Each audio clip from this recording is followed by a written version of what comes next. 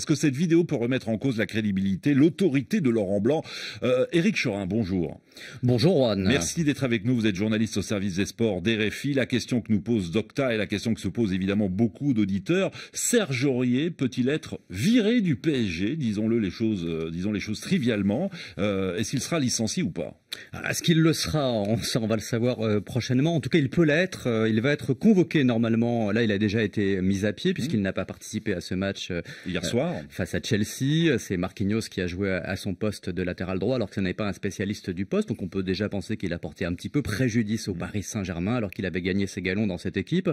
Ensuite, il va être convoqué donc lundi pour un, un, entretien préalable qui ne préjuge rien de bon vu le ton qui a été employé par le président du club et l'entraîneur à, son sujet. Et lors de cet, entretien, où il sera accompagné par, son agent Stéphane Courbis et même peut-être d'un avocat spécialisé, eh ben, il, va, il va pouvoir entendre un petit peu les griefs qu'on lui reproche.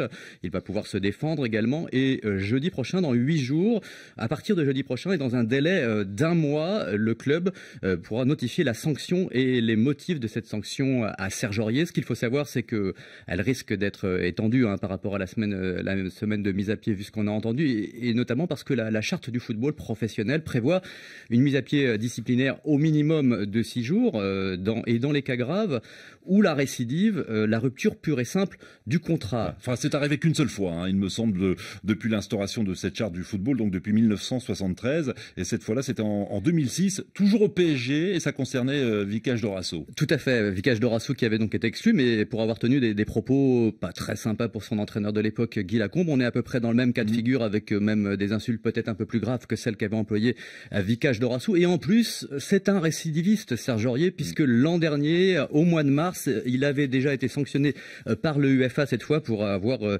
traité l'arbitre, on ne dira pas euh, de quoi, après le match qui avait déjà opposé le PSG à Chelsea en Ligue des Champions, dont il était absent parce qu'il était blessé. Donc son cas est un petit peu difficile. Après, il y a des intérêts financiers. Il a été acheté 12 millions d'euros par le Paris Saint-Germain. Il en vaut un peu plus du double aujourd'hui, donc ça n'est peut-être pas l'intérêt mmh. du Paris Saint-Germain de le licencier. En même temps, le PSG n'est peut-être pas à quelques millions d'euros près. Surtout quand il est dirigé par les, les Qatariens qui effectivement ne comptent pas beaucoup. Puis de toute façon, ils économiseraient quand même son salaire qui s'élève à 250 000 euros. Donc ils ont effectivement le droit de, de le virer. Nasser El Khalifi, le président du Paris Saint-Germain, a dit hier soir à l'issue du match, la seule chose qu'il ait dite, que la décision était de toute façon déjà prise.